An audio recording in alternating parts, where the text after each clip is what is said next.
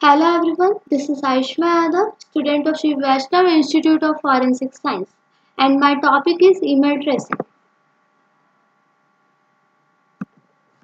Nowadays, email is a primary source of communication as all communication email can be abused.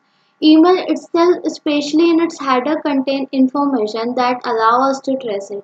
Email itself contains the most important clues regarding its authenticity. So what is email tracing? Email tracing is a track to find out email sender's identity. We analyze the email header and find out the complete details of the sender. Like IP address which is a key point to find the culprit and the route followed by the mail, mail server, details of service provider, etc. In some cases, you may want to know the origin of some email. When you are suspicious with a particular email, somebody else uses your email address for the email he she sends. Whatever the case is you want to know the truth. Someone contacts you for a job and you want to proceed any further and you want to know more about this guy. By studying the email tracing we should able to identify the sender's network address. So now how to trace an email?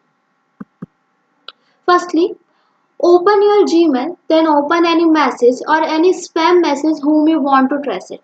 Then right click and then go for a show original. This is right click and go show original. Then uh, information coming on the screen and then copy the information up to delivery to at last and then go for a search email header analyzer on the Google and open it.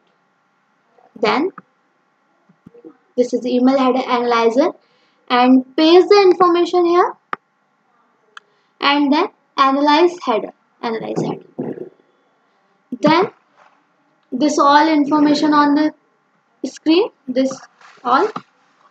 And then go to a received SPF there is an IP address. Copy this IP address. And then search IP lookup. And open the IP lookup and then IP lookup open on the screen and then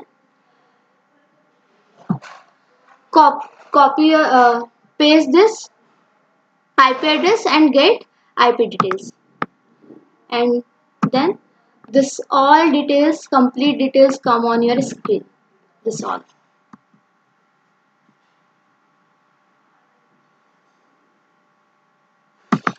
Advantage of email tracing. Email can easily become evidence. Email also leave traces of identity that its users might not be aware of. Disadvantage Email can easily be forged. Not all email can be traced if the sender used an anonymizer service and investigator cannot access the logs of the service.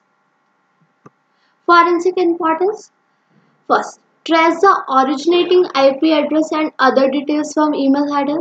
Second, generates HTML report of email header analyzing.